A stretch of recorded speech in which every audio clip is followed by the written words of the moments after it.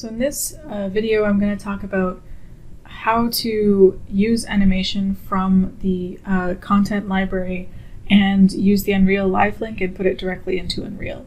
So the animations that were used uh, right now are from the uh, Iconic Hero Motions Magical Moves Pack and the Pistol Stunt Pack.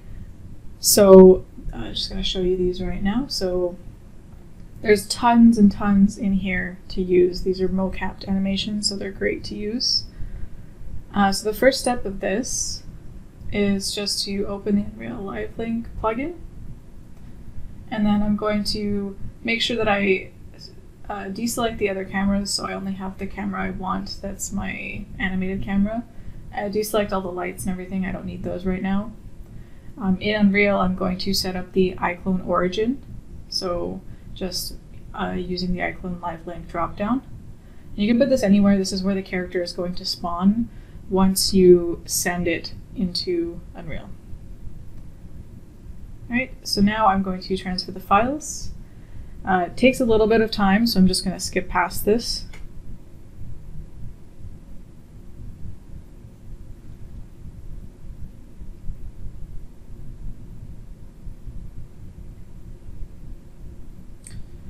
Right, so you can see everything's loading. It's sending all the textures in. You can change the different sizes of textures you want to actually send to Unreal. Uh, I believe right now I'm sending 2K textures, um, but you can send the full 4Ks if you want by changing your settings inside iClone. Just a little bit longer. Alright, so now that it's done, she's popped into the iClone origin. You can see the camera 0 and the avatar 111.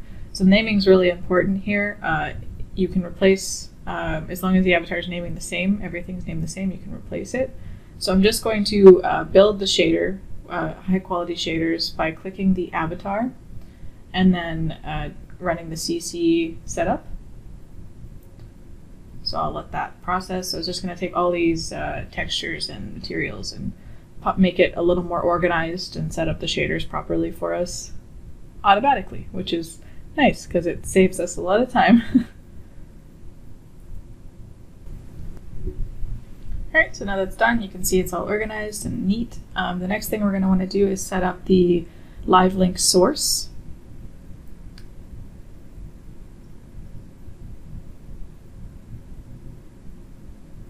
Can see there's some transfer errors here, like the hair looks too bright and such. So here I'm going in iClone, I'm going over the link, um, and so here I'm setting up the source, so I'm setting up the port. Uh, and then I'm just going to activate the link and make sure that I turn off everything I don't want to actually live link. So the lights I didn't transfer, I'm going to turn the camera zero on and make sure that the character is also uh, active, as this is what's going to tell Unreal what we're actually live linking. So now it's there, uh, now it's linked, and the character is gone. so that's because uh, now she's moved into the proper position from the animation.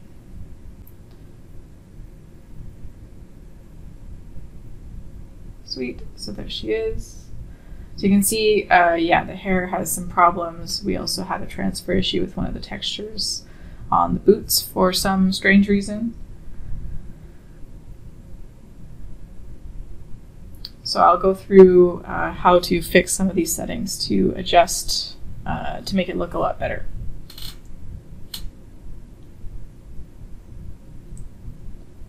So here I'm just trying to switch an iClone to my camera zero so it matches.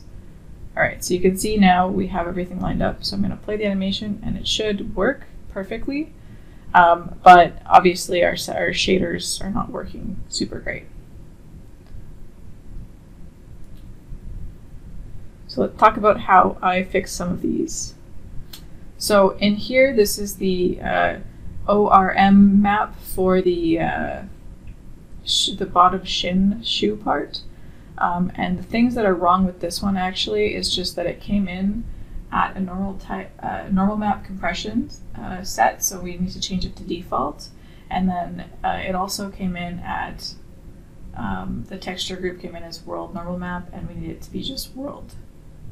It's not a normal map, so we don't want it to display as one, and then just say the texture out, and that fixed my problem. I think it was just a very strange bug for this specific character, um, but that's okay. Um, and then for the hair, uh, I just wanted to change the base color to something darker and more saturated, and this did match something closer to what we had in iClone. So I'm just copying the sRGB value and pasting it into the braids as well since they're two separate materials. We need to transfer both the exact same colors.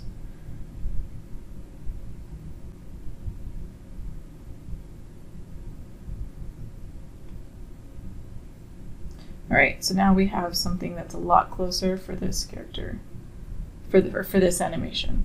So the next one, I'm going to also just import or uh, transfer the files and live link. So this uh, animation is the dual gun muzzle down catwalk from the pistol stunt pack. Um, so you can see it playing in iClone, but it's not linked yet in Unreal. So I'm just going to the Unreal Live link, and I'm going to also transfer uh, the character and the camera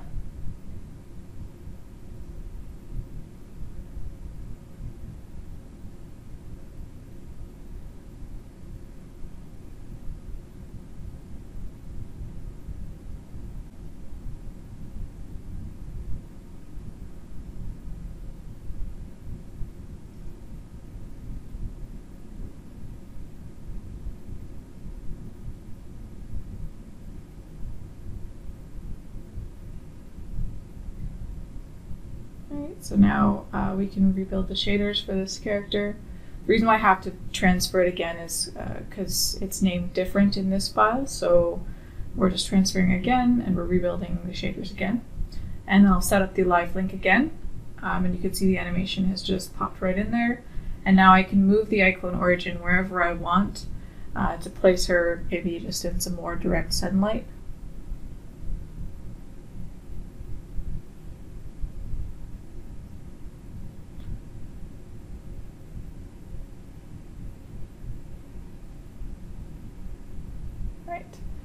So uh, I've applied the exact same changes uh, as the last animation to this one.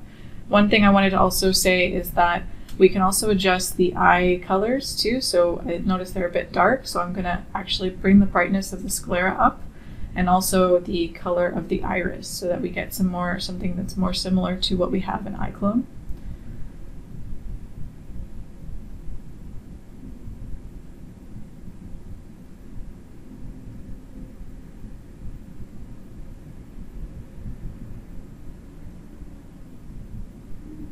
So I'll just apply that to both the eyes. So both are two separate materials, so just have to remember the numbers and copy and paste them into the other material.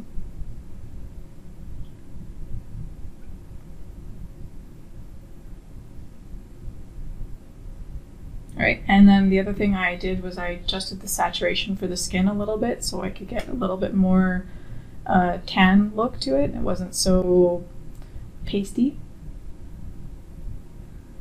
Alright, so now we can play our live link animation and you can see it's now transferred perfectly. So in order to get the actual um, flicking of the hair and all the simulation physics and everything like that, you'd have to set up a sequencer and because um, because it only works when it's in the actual uh, play mode. So to solve that problem, you just use the sequencer and you make your animated uh, clip with the sequencer to activate the physics.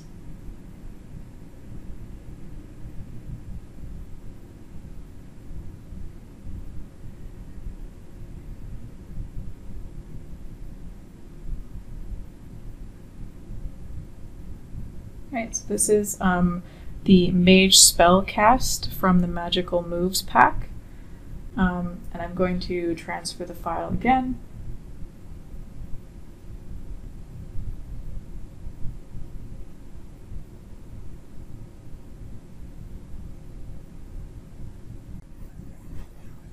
Right, so now I do have to reset up my uh, live link source because my Unreal crashed earlier. Uh, click the link activated button, um, and then pilot from the camera, and I can now play back the animation live linked. Um, I'm also going to make one final adjustment uh, to adjust the exposure and the post-processing volume. Um, this is going to give me a more accurate lighting to what I have in iClone. And that's the, that's the whole process. It's really, really quite simple. And on a final note, I just wanted to show you the final renders from